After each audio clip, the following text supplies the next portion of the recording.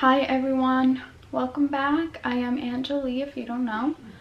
For those of you guys that, you know, have stayed in touch with me, thank you. I love the support. Um, today we are talking about my current skincare routine is not an updated because I have stopped using all the products that I used to use and I'm only using three products plus moisturizer, so four. Um, yep so let's just rewind a couple months. So a couple months ago my skin my face was looking a freaking disaster. I was confused as to why. I didn't understand the reason why it flared up the way that it did. Um i didn't think i was eating nothing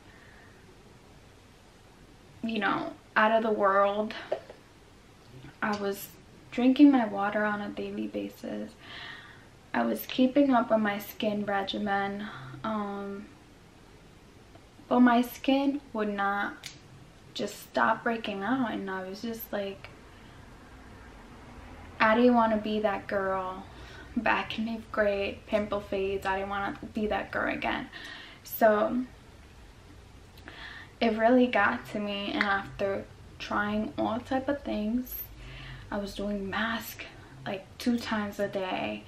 I was cleansing my face three times a day. I was moisturizing drinking double the water that i usually do and nothing was working. So i decided to seek professional help and that was the best decision I've made because you know I tried every how do you say that? Every way. Oh I tried every home remedy and it was just simply not working out for me. And you know I didn't want to because I had spent like $50 here and there buying more skincare products and I haven't even finished the skincare products that I have at, that I already had. So I was like you know what? Might as well spend 50 or a couple more bucks on seeing a doctor that specializes in skin. So I went ahead and scheduled a dermatologist appointment where I went to the location is literally like three minutes from my house like a minute drive. And the doctor was amazing. She was so nice. Um, what they do is they take a you know they make you write out what's going on with your skin um, you know basic stuff that you do at the doctors fill out that new patient forms then she asked what's going on and what would I want to happen. And I'm like, my skin is going off, meaning it's flaring up. I'm having acne all the time. I don't understand why. And I explained to her it gets even worse when I have my period when it's that time of the month. So she's she recommended for me to asked for my gynecologist to prescribe me um, birth control just so it can control the time frame of the period and my flare-ups. Um, I did let her know that due to other medical conditions, um, at the moment I can't take birth control. So she's like, okay, no problem. So take off.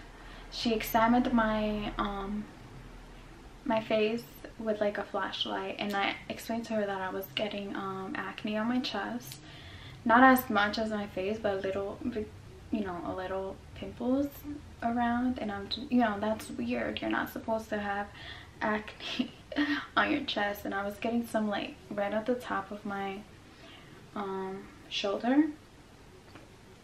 So she was like, okay, take off your top. Let me just examine you real quick so we did that she examined me and she just prescribed me three things those three things were first off there's a routine of how you got to do things but the first product which you can find almost in every store Rite Aid, CVS, Walgreens, um, Target, Walmart, whatever store. And that is Panoxyl.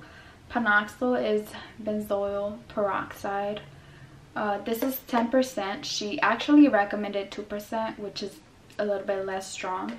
But when I went to the pharmacy, they only had 10%, so I just picked it up. I actually paid 15 bucks for this little bottle. Um, but I know that Walmart has it for like 8 so this is the first product that was recommended. Then it was don't mind the bottles because you know they've been used they've been used and abused. I still have a lot of product in here. Um and i think i've been doing this for a month and a half now. So the second product is Clenda hope this focuses it's clindamycin phosphate. I i i think this has another name but um i don't know what the other name is. Just i know it says clindamy clindamycin phosphate. So this is the second product. Boom. And the third product is adapalene. Adapalene. Hope that focuses. Adapalene. Um clearly this tube is way bigger than this one. But the way that i do my current skincare is in the morning i shower I put this on the affected areas, my face, my chest, and the top of my shoulders. You know, I wash that off. This actually, I do not recommend leaving this on your skin because it does bleaches clothing. So make sure you wash it off right. That's the first step. The second step is in the morning. So in the morning you shower, you wash your body, face, whatever with this. Boom. Once you get off the out of the shower, you dry yourself and then you take like the size of a dime and you apply it to the affected area. Size of a dime, size of a dime. Apply it to the affected area. Let me tell you your skin both all three of these products will dry your skin out. Your skin will look like a fucking desert. It will feel like a fucking desert. So make sure you moisturize um, moisturizer of your preference. Make sure it's oil free because the reasons you might get pimples is because of the oil that's on your face or area. So yeah make sure the moisturizer is oil free okay that's that. Uh, and make sure you moisturize throughout the day. And whenever you're using these products make sure you don't get direct sunlight because it can irritate the skin. So at night you go back to this baby boy. You wash your face your chest area in whatever back area that has flare-ups as well. Boom. Same step as the first one.